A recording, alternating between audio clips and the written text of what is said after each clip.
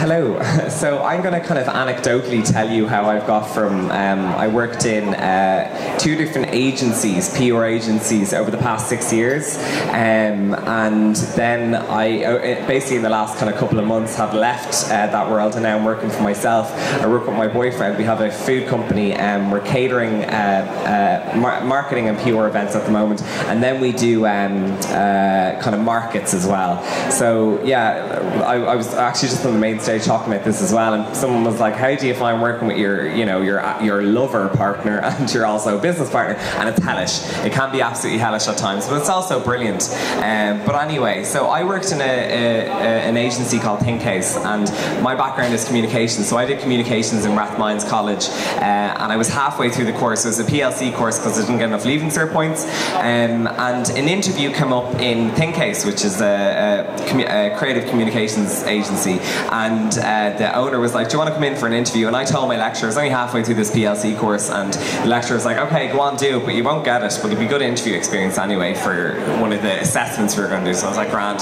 So I did it, and um, they ended up inviting me for a round two interview, and I ended up getting it. Um, so I went in. I remember even like on one of the first days googling how to write a press release, like looking up the template on, on, on Google because I literally didn't really know. So I literally learned the ropes. But why kind of they hired me was because I was good at social media. Um, I was you know updating my own channels all the time, and that's something they wanted me to work on in the agency. So they were like, okay, social media is now your job. You do the, the social media for the bits and bobs we have here. So some of the brands I was working on there were like Barry's Tea, Diet Coke, Ben and Jerry's. Um, what else I was working on? Tiger Beer, a lot of the Heineken brands as well. So I, I was kind of put on a lot of food stuff, and that's kind of ha- my background really in agency. Um, so I guess when I went in, I, was given all these different brands, and then I was told to talk about them then across different social media platforms and put together different conversation calendars, which is basically kind of like your week ahead of different Facebook and Twitter uh, posts that you're going to use for that brand to tell them about it. Um, and one of them was Barry's tea, and I remember my mum being like, "Sure, what can you talk about tea? Like, there's only so many Tuesdays you can talk about a good cup of tea, or what kind of tea, milk do you use in your in your tea, or what biscuit do you like with your tea?" Um, so I kind of went in, I was kind of thinking, okay, well, how do I talk about this brand, and how do I make it fresh and interesting each week? So I actually went down to uh, Barry's Tea, which is in Cork. I'm sure you'll know. Um, and I met my client, and she was kind of showing me around the factory, and she was like, "This is where all the tea is made. This is where the factory workers blend all the tea." Um, and then she kind of was like, "And up there is Dennis Daly. He's the master tea blender. Have any of you heard of Dennis Daly? No. He's you have, yeah. You're you're in food, so you know. Um, but Dennis Daly was literally like a Willy Wonka type character. He's worked in Barry's Tea for like 40, 50 years, I think. And I was brought up to his office. Were you ever up in his office? It's insane. So there was this little woman following him with a little trough, like uh, what a wine taster would spit their wine in after, you know, tasting or whatever. And he had this row of um, cups of tea, and I think he tastes like 10 to 20 cups of tea a day to make sure the, the blend for the gold blender with the classic is consistent. Because each box of tea has new tea leaves because of the seasons. So there actually is a, you know, a job for tea tasting, you know, if you're, if you're interested. But anyway, I found this kind of fascinating, and I was like, how come he hasn't been really talked about or, you know, pushed out in front of the media or whatever? Because him tasting all that tea and talking to me about the different bl- blends of tea and his expertise really shows off kind of how amazing Barry's tea is and how kind of. How they're not like you know any other tea uh, factory that are just kind of blending whatever. There's a real expertise that goes into it. So I brought him down to Dublin then a couple of weeks later and um, did a media event with him. And it was a tea tasting with Dennis Daly, and uh, a lot of uh, food media came and um, really kind of seen firsthand what goes into Barry's tea bag. Um, and I guess that was something that wouldn't have happened if I didn't try and get to know the brand or see the little nuggets in whatever brand there is. And that is something that can be applied to absolutely any brand. There's interesting stuff in every brand.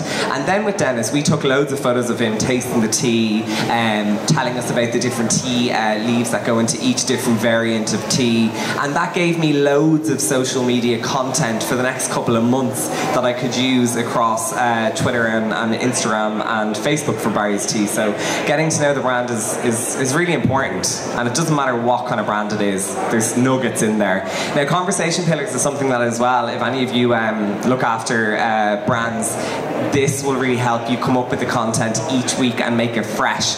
So for Barry's Tea again, just going back to them, uh, the conversation pillars I kind of identified for the brand was one was heritage, one was modernity, another one was tea, and basically within them it's like a spider diagram. You could talk about loads of different things within heritage, and that say for example Heritage showed off how kind of um, how much Barry's tea is rooted in Ireland. So you know it was invented back in the 1900s and um, it's from Cork and they supplied all of the major hotels back in the 1916 rising. They kind of there's loads of really interesting stories about them getting the tea to the hotels during you know what was going on. Um, and for Heritage what I say an example of a Facebook post uh, one of the anniversaries is 1916 there was like this receipt from the Shelburne Hotel of, of the different tea orders they put in. It was a real gorgeous handwritten post. We scanned it in, put it on Facebook. It ended up going a bit viral. I think the Daily Edge did something on it. But that just kind of goes to show you, if you have these conversation pillars, you can you know, you can find interesting bits about the whatever brand you're working on. Say for modernity, uh, that's really to uh, uh, kind of prick the ears of the younger generations and make uh, a tea brand interesting to young people. So Saoirse Ronan is a mad fan of Barry's tea. She brings them in Ziploc bags wherever she goes. She was talking on Ellen about it. So we do post about how much she loves that. The Coronas are another one. They love Barry's tea, and that's to make sure we got all the younger audiences. And then say for heritage, that was kind of more the older generation. Um, and then tea was another conversation pillar, and that was talking about all the different variants of tea. So green tea is good for you know um, digestion, peppermint tea again digestion, chamomile for uh, at night, decaffeinated for at night. So just to make sure we kind of showed off all the different variants. So they're the different conversation pillars, and you can apply that to absolutely any brand. I'm sure you could apply it to butter as well. The different cows could be one conversation pillar, um, and yeah, absolutely any brand at all. Uh, this is something one of my managers told me to keep in mind if you're ever doing a Facebook post. Would you be Scarlet? So if you come up with a conversation uh, uh, or a, a, post for one of your platforms, just think, would you be Scarlet to post that on your own Facebook page? So that's kind of using language that might be condescending or a bit talking down to your uh, followers or whatever. Just make sure it's not something you'd be slightly cringed to post on your own Facebook page. And if it isn't, then it's good enough for the brand. But if it is something you wouldn't post on your own Facebook page, you shouldn't post it for a brand and that kind of stuck with me even today. Condescending corporate brand page is something I would recommend you all like on Facebook. It's quite hilarious, but it's quite mean as well. They kind of pull all the most cringiest posts from all the different brands around the world and basically name and shame them, um, which is me, and I feel sorry for the, the me that would be on the other end of that, the social media kind of person who's coming up with the content. Um, but it's good to like and look at and make sure your content doesn't sound like the stuff they post. Uh, this was something they kind of put up, and this happens a lot when a celebrity dies. Brands jump on a, a celebrity death, which I, which I just think is so wrong. Cheerios did it. They since apologised, so apologies if any works for Cheerios here. Um, but yeah, Prince died, and they put this purple thing up with rest in peace and a little Cheerio above the eye, and that's really just kind of unsound, and it's just a brand jumping on a death of a celebrity. So yeah, that's a good a good site to look at to make sure you never do stuff like that. Now, during my work in agency life, I became obsessed with food because I was working on food brands. Um, Kerrygold Butter was another one I was working on, which I absolutely loved. Um, they sponsored the Ballymaloe Lit Fest uh, down in Ballymaloe Cookery School. I went down, I launched that with them, and that's uh, that really kind of, you know, I met all the Allens, and I just became more and more obsessed with food. And at that time, I met my boyfriend William, um, and he had just completed the Ballymaloe Cookery course, so he really knew how to make food. So we were kind of like, okay, how do we turn our obsession into a career? Um, I just work constantly on food, so it's all I think about. If we had breakfast, be thinking about what lunch we're having. Even though we're full from lunch, we'd be thinking about dinner. So it's just kind of like, we need to turn this into a career. Um, and I was always asking myself when I was in my 9 to 5 job, am I ready? Can I really do this? I'm not sure. Um, but then Snapchat kind of came around at the same time as well. All these little things happened at the same time. Um, and I hopped on Snapchat, uh, and it was actually about two or three years after it really became popular. I kind of always hop on things a bit after it. Um, and one of the main things I did was scare Williams. This is my boyfriend. Uh, anytime I, uh, any chance I got, I would jump behind a door, scare him, whatever. But that thing actually amassed me loads and loads of followers. Thousands of people start following me. Big kind of bloggers get me shout outs because they were like, you need to go and watch James's Snapchat because he's scaring William and he's very funny when he's scared. Um, and I wasn't just scaring him, I was also trying to think of ways to kind of talk about us being in food together. So we were at home and I'd be snapping him making dinner. It seems really simple and stupid, but it worked out in the end. I'd be kind of snapping him making lunch or whatever, and people would be kind of writing back saying, Oh, can you re snap how you made that sauce? Or can you re snap how you made that cake? Or do you have a food blog we can look at? Um, or are you ever going to be at a market? Or where can we taste your food? So that kind of conversation back and forth from Snapchat gave us the confidence to be like, okay, well, maybe we are actually ready. Because I, we were thinking we were like 25, 26 at the time, and we're kind of like, no, we'll, we'll, we'll do the whole food business stuff and go out on our own when we're more adulty. Can't do it now. I look back now in hindsight saying, no, we can. Um, so it was the confidence that we got from the messages back and forth on Snapchat that we were like, okay, go on, share, we're ready, we can jump into it. Um, and this is something, uh, this next slide is all about working with the right people. So I kind of have this problem whenever I ever have a, something I'm interested in. I never get the right people. Like I had a food, uh, an interiors blog uh, a couple of years ago, and I, I kind of did all the photos myself and tried to do the website coding myself, and it just kind of fell to bits. What does that mean? Five minutes. Okay. Uh, so I was uh, doing all doing all these little projects myself, doing absolutely everything myself. But then with uh, our food brand, we were like, no, we want to take this a bit seriously. So we got in uh, touch with Good as Gold. They're kind of a brand developing agency. Uh, there's only two girls. They're brilliant as well. If any of you are kind of startups or whatever.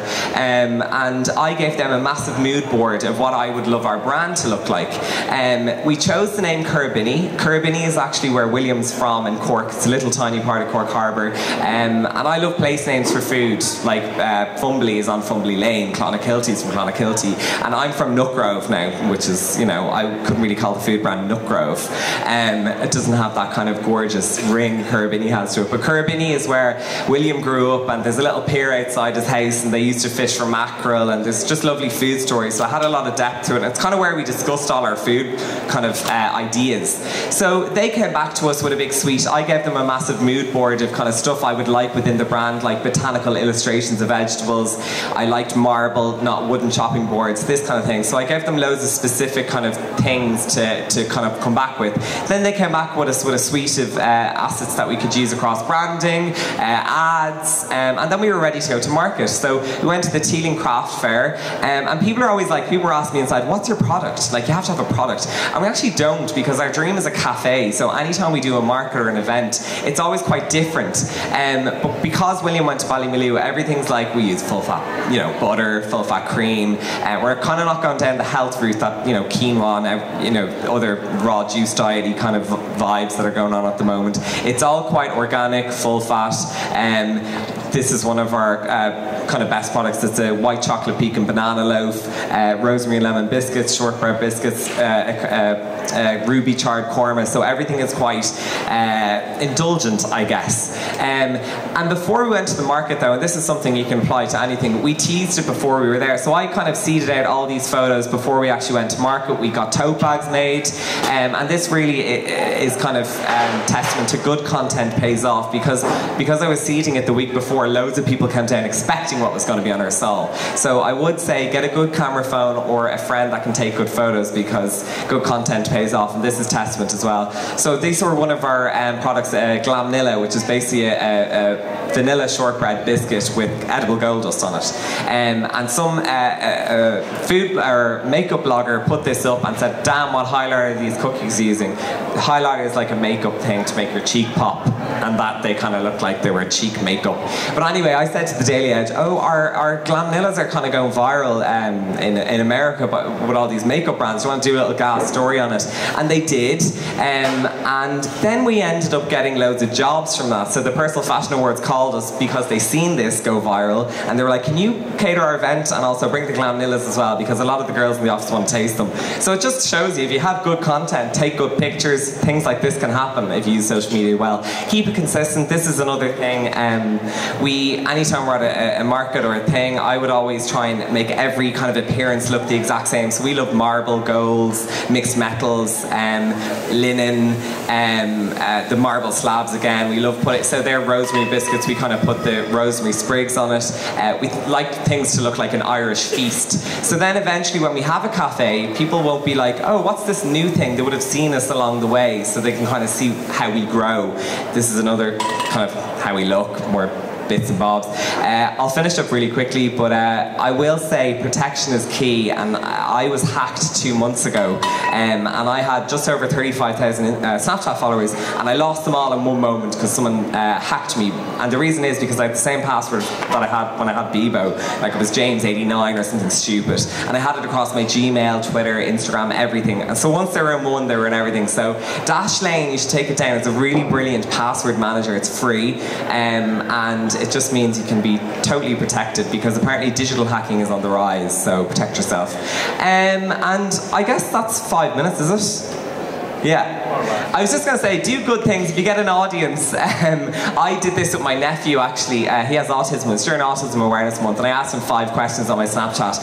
And again, this is another example of good social media content can go viral. Um, so I asked Sean five questions. How can I help you deal with your autism or whatever? Um, and he answered back saying things like, don't use sarcasm and be direct to what you're saying. All this, and loads of teachers weirdly followed me and asked me to download the snaps, and uh, that went viral. It went on her.ie, um, it was on Huffington Post, um, it was on the Today Show in, in America, and I guess that's just another example of a good piece of social media content going viral and how it can work for really anyone. Um, and that's a race through my presentation. I hope some of that was uh, understandable. Thanks for listening.